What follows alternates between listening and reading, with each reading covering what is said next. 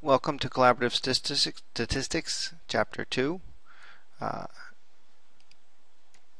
chapter 2 is on descriptive statistics. Now, what exactly are descriptive statistics?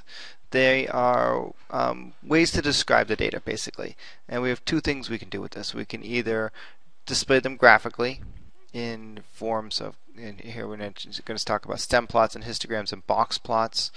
Um, or we can calculate it mathematically, which will give us information about the location uh, of the data, the center of the data, and the spread, or you know how wide the data is uh, dispersed. So there's some things we're going to need, key symbols we're going to need to look at. Um, here's a bunch of them. Sigma here. This is capital sigma. This means summing. Okay, it just means that we're going to sum stuff, and in this case, we're going to sum the data little n. This is the uh, number of values that are in a sample, whereas capital N is the size of a population. X bar, the reason it's written like this is you'll see it also like this most times. X bar, um, it's the sample mean. You know, we're going to add them up, add up the values, divide by n. S, lowercase s, is the sample standard deviation.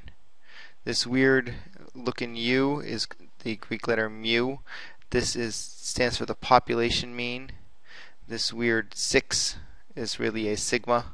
Okay, it's the Greek letter sigma or Greek letter s, and this is the population standard deviation. So we have lowercase regular s, the sample standard deviation, sigma is the population standard deviation. This is lowercase, uppercase sigma, it means sum. So we have three s's that we have to work with.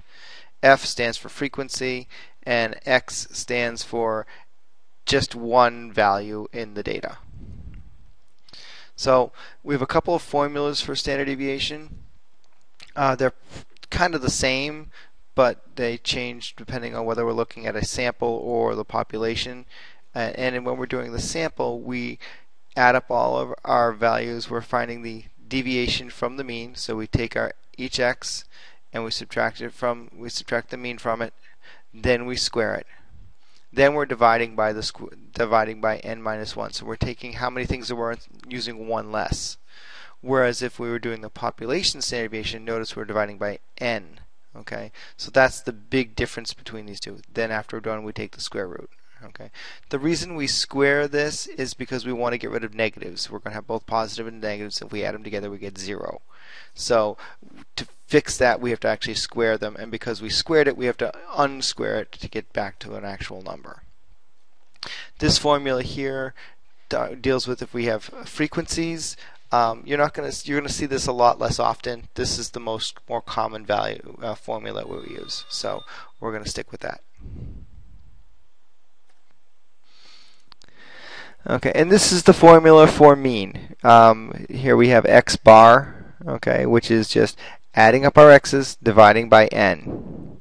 And mu, which is adding up our x's and dividing by n. So notice in this case the formulas don't change except for whether we have a little n or a big N. This is the population uh, this is the population size, this is the sample size. So uh, we don't very seldom know this number. I mean this only occurs if we were looking at say um, Major League Baseball there's only 750 players you know in major league baseball so we can easily take those values and we can find the you know the batting average of the 750 players and how many at bats there were total um, to, to, get a number whereas you know we may take a few baseball players and take a sample and find their stand, their average you know batting average you know for a few players so but very seldom do we ever actually calculate this we're usually given this value um, as an as an as an as a thing.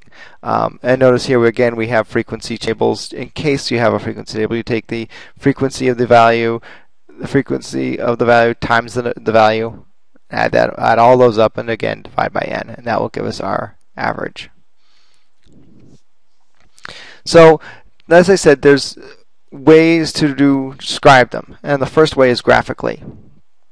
So we have a couple. We have stem and leaf plot or stem plot. And you'll see it written both ways.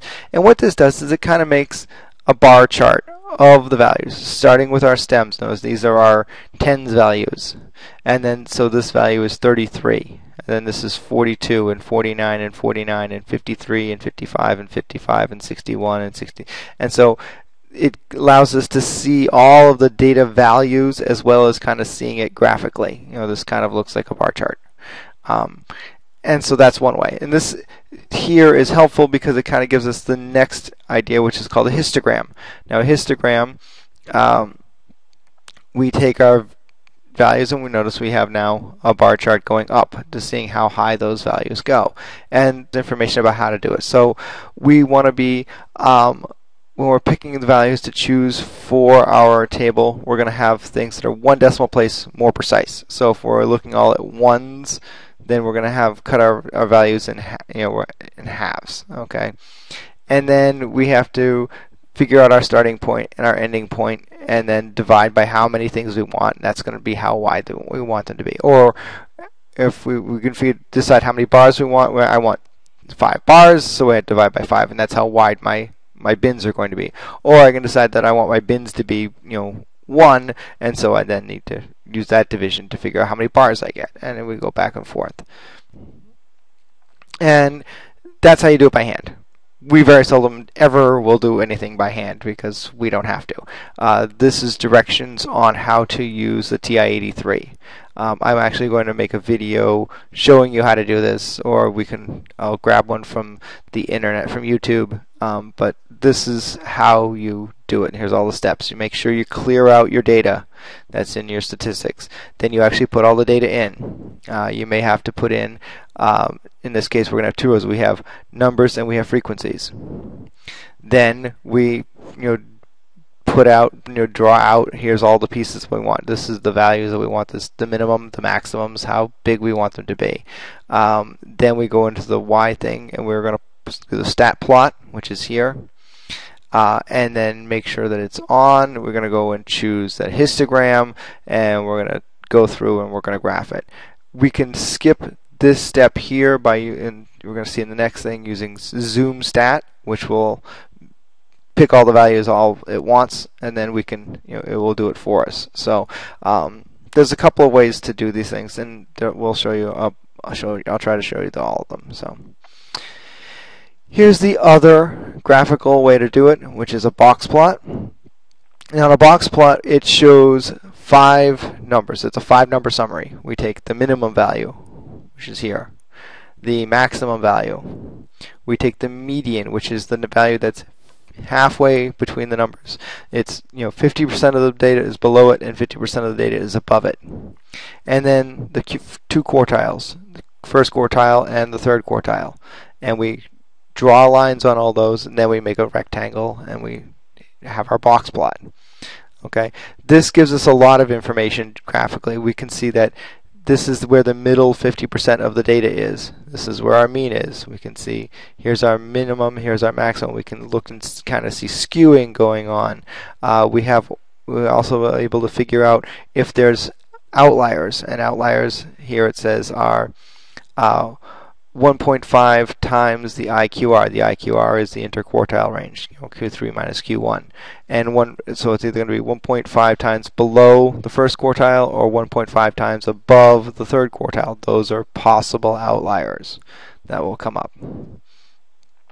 And again, here is how we go through and, and do it on a calculator after we put our data in. Um, instead of choosing uh, the histogram, we choose the box plot, which is the fifth one. And we do, and remember I talked about zoom stat, well there's zoom and 9, and that will set up our range so we can actually see all the data. And again, we can trace it to find all the values along the, the box plot.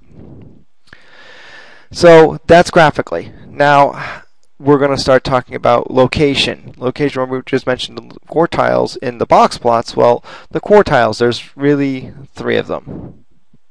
25th percentile, the 50th percentile, and the 75th percentile because they're in quarters. Uh, this means that 25% of the data is below that value. 50% of the data is below the second quartile. 75% of the data is below the third quartile. And we don't have to just have quartiles. We can have, have, percentiles or break it down into hundreds. So this allows us to have smaller versions like the 80th percentile and the 20th percentile and the 36th percentile. Now, to find these things, we have to put them in order from smallest to largest. Okay, um, and then therefore the that's that's our first step. Then we count them. Okay, we can see how many values are if we're looking for a value. Um, excuse me, here that the 80th percentile. So I have a spelling error. Uh, we have to find the value that where 80% of the data is less than that. So if I have 50 values that I'm looking at, I need to find the 40th value because that was where 80% of the values are going to be below that value. Okay, because 80 times 0.8 times 50 is 40. So the the 40th value, so that's where that lies.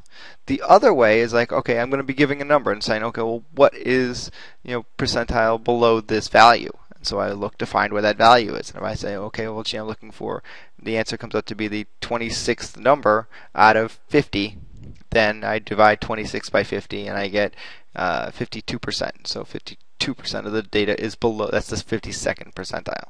So that's what happens. It just depends, but you always want to put the values in order for quartiles and for centiles, and then do the math. Um, the other thing, next thing we're going to look at is measure of center, the central tendency, where it is. And there's a couple, there's three measures of central tendency. We're going to go over them at first. The mean, okay? Um, we know it as the average. We've been taught it as the average. You know, you add up all the items, divide by how many there are. It's this big fancy formula. That's all it says is add up all the x's, divide by n. Okay, here's another way to write it. 1 over n times the sum of all the x's from 1 to n. You know, i where i is 1 to n. And this is what it means. Just add them all up and divide by how many there are. So we've always called it the average, and now we're being told to call it the mean. The reason is because when we talk about the average something, sometimes we mean mean, and sometimes we mean uh, median, and sometimes we mean mode. So average kind of no longer, well, it's the mathematical term for it. In uh, colloquialism, it could be a different thing, so we try to avoid that term um, in discussion and statistics. So the second one I mentioned was median. All right, now the median, um, if you think of a highway, I always mention this, the, the green stuff in the middle, okay, that's the median strip. Right? It means the middle of the highway. So uh, that's all it is. It's the middle value. All right. If we put them all in order, okay, and then we find the the middle value where half are below and half are above. Now, there's two things we have to do. If we have an odd number of values, say we have 25 values, we take the 13th one because 12 are below and 12 are above. It's the same amount. Right? It's like a balance. Right? But if we have an even number, we don't have, we are going to take the, you know, if I have 26 values, I would take the 13th and a half value. Well, I don't have a 13 and a half value. So uh, that would give me 27 values. And so I, what I need to do is I need to take the average of the 13th and 14th values and go, okay, that's where the center is. And so the median doesn't have to be a value that's on the list in this case. Right? I can, if I have two, if they're the same number, obviously it'll be the same. But if there are two different values, I'll come up with a, a value that's not on my list. All right, and so don't worry about the fact that if you come up with a median value that's not on your list. And you know, to calculate it, we get uh, we put our data in on the calculator. We go to uh, statistics, and we arrow over. We're going to go to calc, and then we take the one variable statistics and hit enter and tell it where this is. And if we have um, uh, frequencies, it'll ask, it says L1, it says frequency 1. If we have a frequency table, we would have L1 and then put the frequencies in L2, we would bring that up. And then as we scroll down, we'll see the mean, median, mode, we'll see other things like mean and median, we'll see standard deviation. We won't see mode, because uh, it doesn't do that. Um, because a mode can have more than one answer and calculators don't like things that can give you more than one answer. Um, so uh, we will get different things. You know, we'll have all kinds of data. We'll have the sums. We'll have the uh, how many values there were in the data, and it will give us all this in the one variable statistics. Mode is the thing that happens the most often. Okay, so if I have a list of numbers, the one that's the highest is the mode. and that's the thing you need to look at. Right, that's just how many, and you can have things that happen more. We can have more than one answer. If I have um, a, a, group, I can have something that's bimodal or trimodal. I can have no answer. They all exer- occur the exact same number of times. So there's no mode, or it's everything is a mode. So you know it, that, that's why this doesn't really show up as a calculator thing. Um, but sometimes it is a useful tool. It is the center because you know it's say you have all 100s on your homework and then you decide not to pass one in. Well, you have you know 15 hundreds and a zero. I mean, when we do the math to calculate the average, that zero brings it down.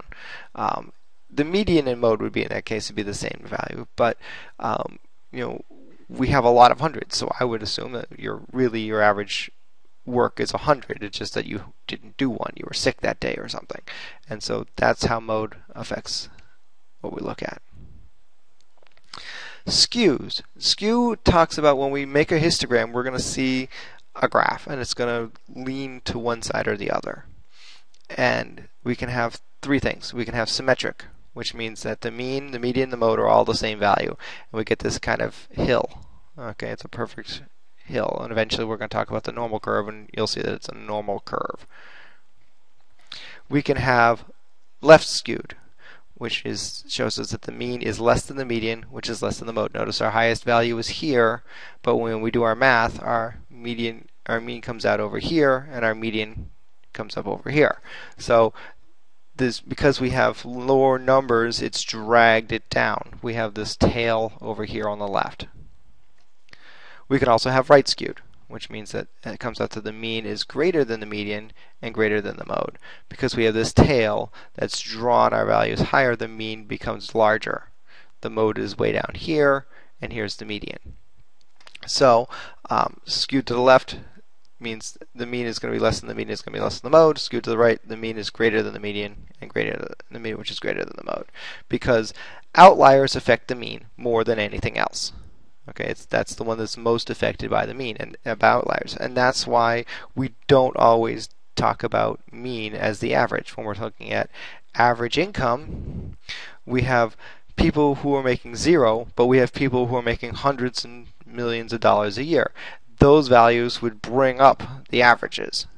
So we don't look at that. We look at the median income. Well, where is the 50% mark? Where's where's the value that's 50% is below and 50% is above? And we'll notice that that number is much smaller than the mean income. So, and possibly the mode income. So that's central tendency and um, how it looks. Spread. Spread, we use standard deviation. So this gives us a number to talk about how wide things are. Remember, remember we talked about the interquartile range and we had the minimum and maximum in the first, uh, second, and third quartiles. Well, that gives us an idea of how numbers are spread out, but I don't have a value to give to it. The standard deviation gives you a value. Okay, and what we do is we calculate how each value differs from the average and use that and we standardize it. That's what squaring it and taking the square root of it does. We, dividing and square and square rooting. We take we're standardizing it. Um, this allows us to compare one value from one set to a value in another set. So I can look from year to year. Are the spreads different? Okay, because the means may be the same, but the spreads are different. Um, and that helps me give a value. It also, I might have different means you know, but and the spreads are different. So I can see, well, is one person better than the other person based on the years or the schools or whatever I'm looking at. So again, here's the formulas. Um, square root of the sum of the differences of the means. If you take x minus x bar, square it, add them all up, divide by n minus 1 because we're most likely looking at a sample. They will tell you if you're using a population and then you make sure you use this formula. But in most cases, we're dealing with S. So this is the one you really need to know. This is how it works. okay, this one has been given from a frequency table, which I said you know we never use, but here we have one. Um, so we subtract our x's from our mean, so we did all this work. We found the mean, and we multiplied 9 times 1 and 9 by 5 times 2 and 10 times 10, and added them up and divided by how many there were. And we came up with this value. And we subtracted the mean from each one. So we have all these. If I add these together, I'm going to get 0. So, well, actually, I, but I would because I would be multiplying these things together. Okay, then I'm going to square them. So I square them all up. Now I have all positive values, so I can add them.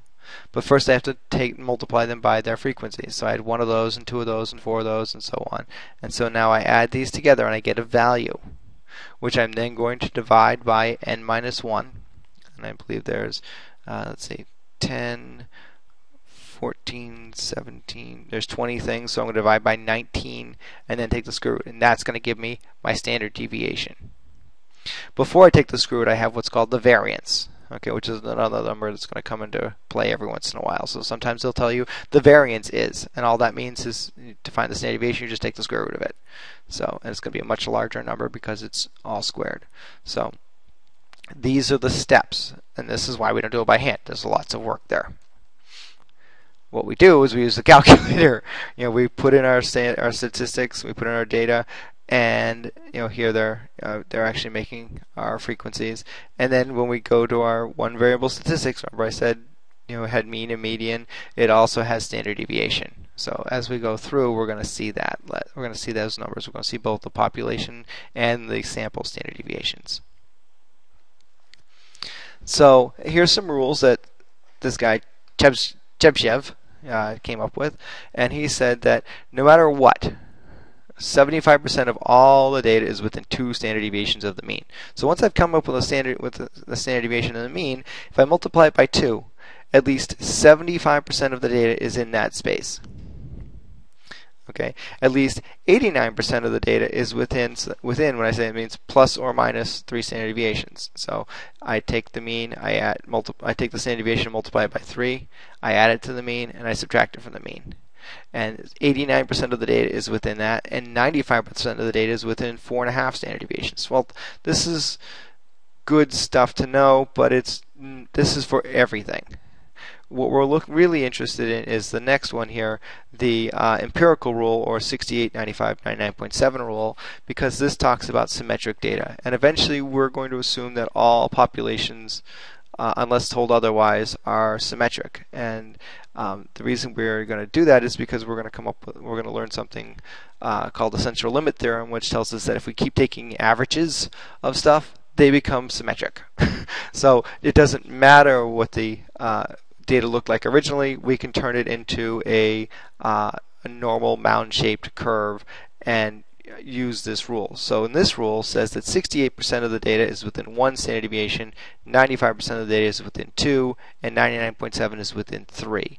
And the one that's going to be the most important here is this two standard deviations. Okay, we're going to see this a lot in like chapters 7 through 10. So um, this is pretty important stuff.